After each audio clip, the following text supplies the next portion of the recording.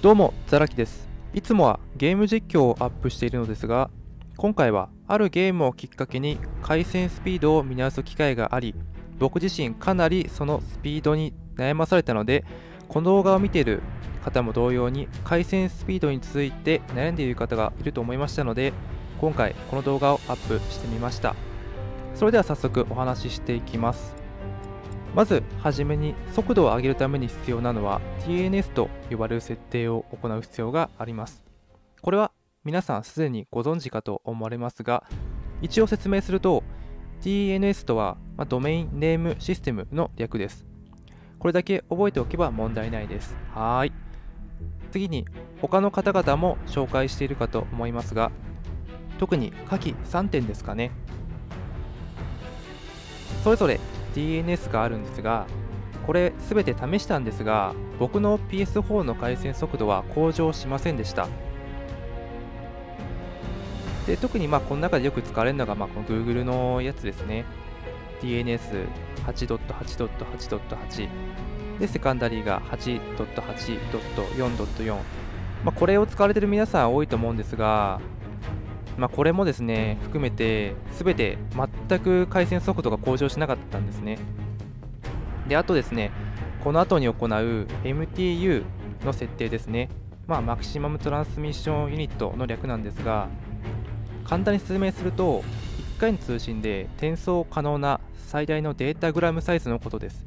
まあこれも MTU とだけ覚えておいてもらえれば OK ですでこれについてもですね大体自動でいいと皆さん言っているんですがこれはま自動でいいかもしれません。ちなみにこの数値は自動ですと1500となっています。しかし今回はここの数値も手動で設定していきます。そもそも ISP まあ、インターネットサービスプロバイダーの略ですね。それが提供している DNS サーバーが、ま自動で設定してくれるので、まあ本来考える必要はないんですが、ネットを使うときにプライバシーだったり回線スピード、セキュリティ、信頼性といった点が気になる場合は DNS や MTU の設定を見直す必要があります。今回はその中で回線スピードですね。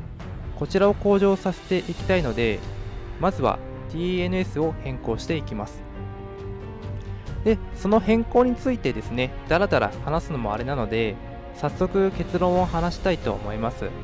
僕が最終的にたどり着いた回線設定はこちらになります。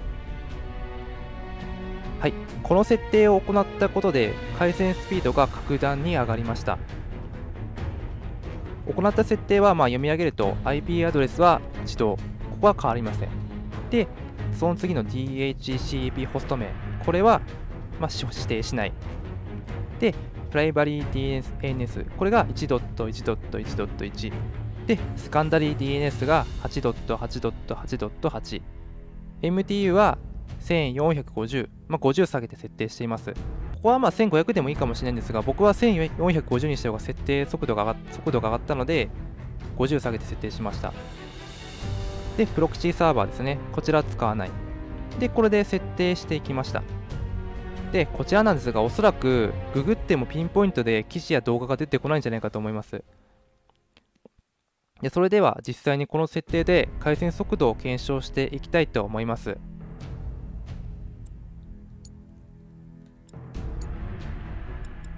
まずはネットワーク。接続設定。で、LAN ケーブル。Wi-Fi だとあの速度が変わらないんで、もうやっぱり LAN ケーブル一択ですね。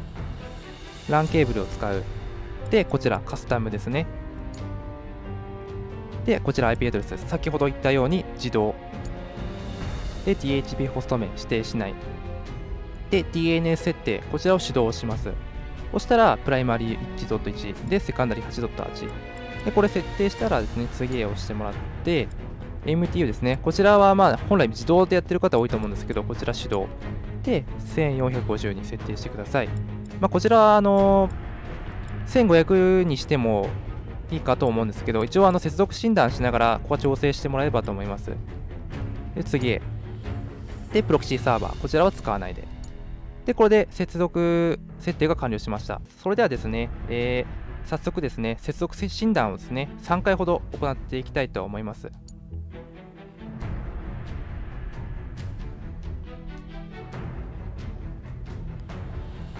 はい、1回目がまあ361ですね。はいじゃあ2回目。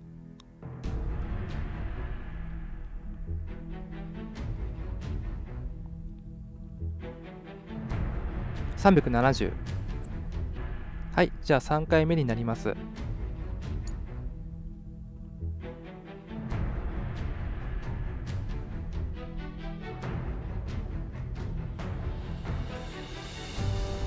はい387、まあ、だいぶ上がりましたね。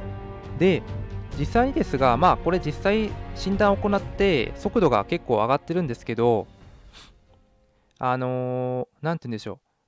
この診断速度って、まあ、実際のこの速度と違うので、まあ、その都度その都度変わってくるんですが、まあ、この設定を行うことで、えーとですね、あのマッチングしないことで有名なバイオハザードレジスタンスっていうソフトの中のマスターマインドっていうのがあるんですけど、それがですね、約1分弱であのマッチングすることができました。で、これがこの時の映像です。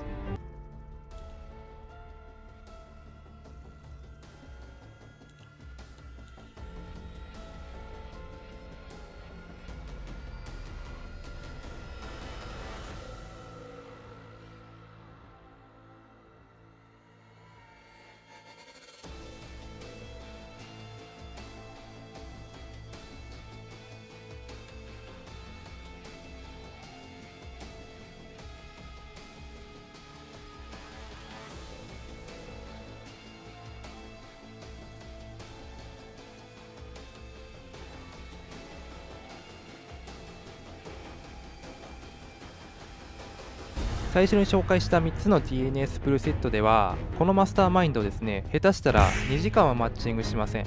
なので回線速度を上げて例えば、ま FPS などのシューティングゲームや新しいのがですね今年の7月30日発売ソフトのガンダムマキシブースト、まあ、通称マキオンと言われてるんですがそういった回線速度重視のゲームをする際もこの設定は強く生きてくると思いますので今現在ですね回線スピードにお困りの方はこの設定を行ってみてはいかがでしょうかそれではですね今回の動画は以上になります参考になった回線速度が上がったなどの結果が、ま改善されましたらですね高評価やチャンネル登録のほどよろしくお願いいたします。